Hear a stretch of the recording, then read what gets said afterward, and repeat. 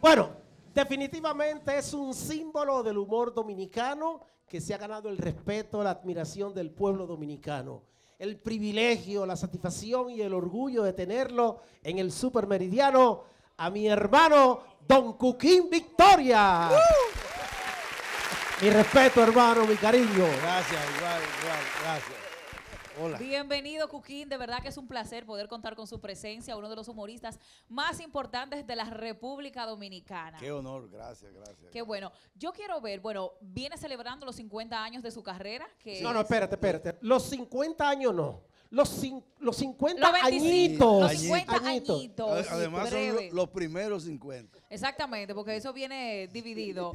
Yo quiero saber, y me imagino que al público también le interesa saber el humor. Usted es uno de los humoristas más importantes con una trayectoria indiscutible. Gracias. ¿Cómo evalúa usted el humor que se está haciendo en la actualidad en comparación con el con un Luisito Martí, un Cuquín Victoria, un Boruga, don Freddy Veras Goico, que es de la escuelota, su maestro? ¿Cómo evalúa usted el, el humor actual? Bueno, lo que pasa es que el humor es un reflejo de la sociedad, una caricatura de la sociedad. Y la sociedad ha cambiado. Desde la época aquella hasta ahora ha, ha cambiado mucho. Entonces, el humor es un reflejo de lo que es la sociedad ahora. Es diferente. do- Don Cuquín, ¿pudiéramos decir que hay un, un humor urbano hoy? ¿Urbano? Sí, sí, con una gorra para atrás. Sí, como un humor más fresco, más adaptado a la juventud, más, más como de calle, podríamos decir. Así es, Los sí. principales exponentes que usted considera que son, que merecen también eh, su respeto de esta nueva generación que viene subiendo. Hay muchísimos muchachos eh, talentosísimos. Eh, no podría decir porque, mira, ha pasado desde el, el grupo de nosotros Sí. eh, varias generaciones de, de humor que han hecho humor muy bueno. Ahora eh, son los nuevos, pero hubo otros antes, como por ejemplo el caso de, de Irving y el gordo, Alberti, Alberti, sí. el gordo, eh, después ahora, después Carlos Sánchez, y ahora son eh, Raymond y Miguel. Raymond Pozo y Miguel Céspedes. bien. Coquín, ustedes como generación protagónica, principalmente en esa década de los 70 para acá, eh, desarrollaron un humor que incluso llegaron a tipificarlo como el humor repentista. Así es. ¿eh? Hablan un poquito de cómo surge ese movimiento. Bueno, lo que pasa es que eso comenzó esa práctica en, cuando en la época del show del mediodía, porque se hacían tres o cuatro comedias en, en el programa y uno no podía aprenderse un libreto, cuatro libretos.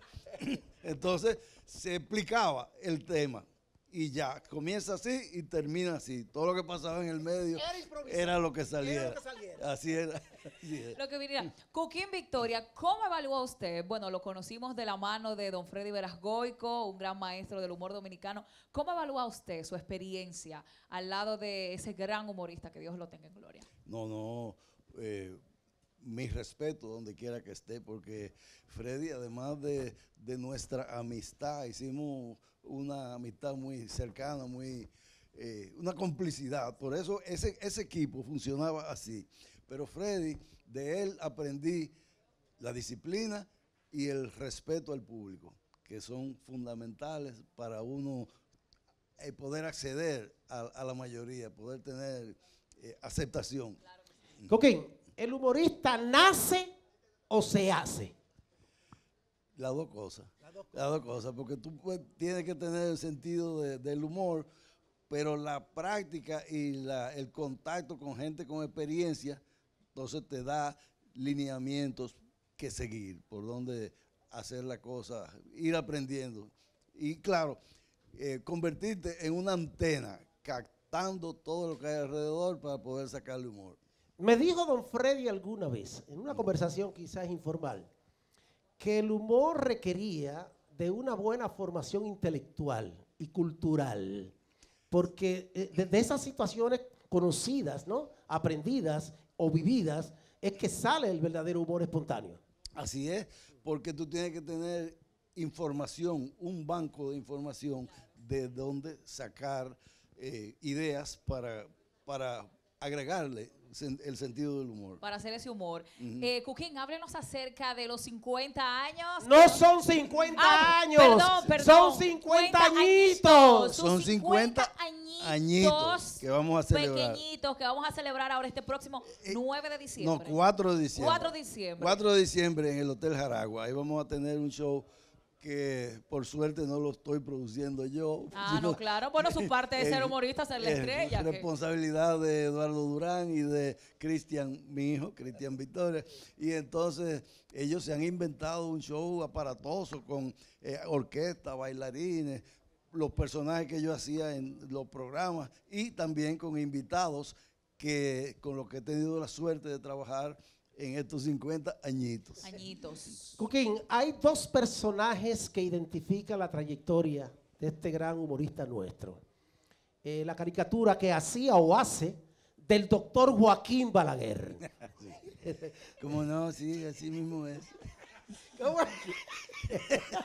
Entonces, si nos vamos al otro extremo, tenemos otro personaje muy protagónico en la figura de Cuquín, que fue Chochueca. Chochueca, que era un personaje real.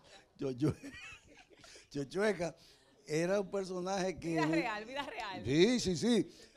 Porque Chochueca eh, era un, un señor que se encargaba de ayudar en los velorios, que no había funeraria en De esa llorar, época. él lloraba. No, no, no lloraba. Él ayudaba a arreglar las sillas, las flores, las cosas. Y cuando se iba el entierro, le regalaban dinero, la ropa del difunto y el hielo que le ponían abajo. Y él se lo vendía a los frieros. Hay otro, hay otro personaje, Cuquín, eh, que te dio mucho éxito, que fue Vicente el Imprudente. Un perro, Vicente. Recréale un poco a estas generaciones. ¿Cuál es el rol de Vicente? Porque Vicente- todo el mundo tiene un Vicente, que el vecino imprudente que vive pendiente de lo que está pasando en tu casa, se mete a opinar, se mete a la hora de la comida, hay que brindarle. Entonces, ese, eh, un necio. Llega a las 12 puntual ahí Sí, un a buscar necio. su comida. Un- Coquín, ¿en algún momento no sentiste temor o reservas de eh, hacer el personaje del doctor Balaguer ante un político de la trascendencia y de la característica de sus gobiernos, que en un momento, a los 12 años, fueron represivos? Así es. Bueno, una vez hubo un procurador de esa época que nos mandó una carta que estaba prohibido eh, imitar al presidente. Eso. Pero después mandaron otra diciendo que sí, que él hiciera. Mucho tiempo después, gente cercana al presidente Balaguer me contó que él mismo lo llamó por teléfono. Le dijo, de ese muchacho tranquilo, carajo. Bueno, vamos a reiterar, eh, Cuquín, para que el país se dé cita en este gran acontecimiento histórico del humor dominicano, la celebración de los 50 añitos. Añitos. Añitos. Añitos, son añitos. Añitos. Son como 10 años para... Mira, Añi- siento. como dicen a los muchachitos, celebra sus dos añitos. No, así. Sus 50 ¿Cómo- añitos. ¿Cuántos años tiene, cuántos meses tiene un añito?